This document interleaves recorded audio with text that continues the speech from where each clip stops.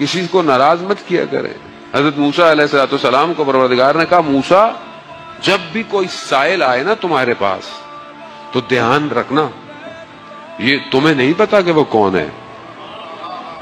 तुम्हें नहीं पता, अगर दे नहीं सकते तो उसको आराम से माजरत कर लिया करना। क्योंकि तुम्हें नहीं पता, वो साइल तुम्हारा इम्तिहान लेने तो नहीं आया कहीं।